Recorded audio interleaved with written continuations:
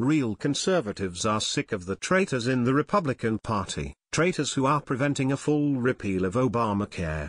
Senator Rand Paul, RKY, is urging President Trump to take executive action to effect the repeal of Obamacare, reports Breitbart. The latest effort to repeal the health care plan was blocked by John McCain and other RINOs last week.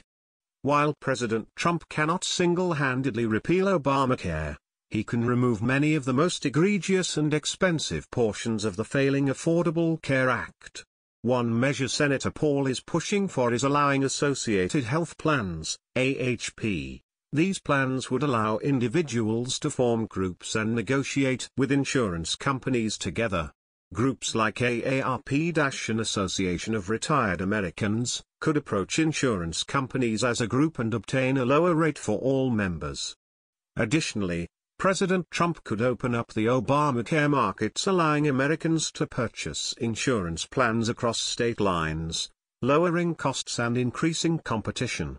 President Trump could also single-handedly reform Obamacare by introducing state waivers giving local government more control over their own state's insurance markets.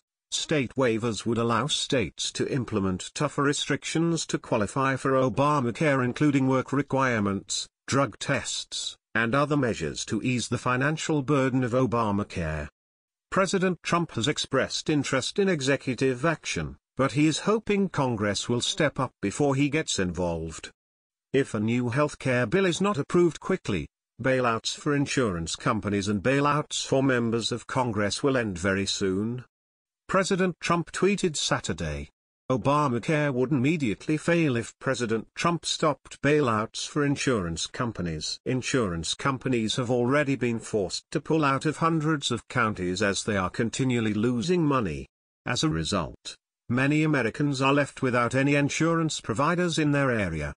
President Trump has already eased enforcement of Obamacare, and the IRS claims they will not go after uninsured Americans. However, only a complete repeal and replace of Obamacare can fix the insurance market. Obamacare has been in a death spiral since its inception and will fail completely if President Trump stops the bailouts.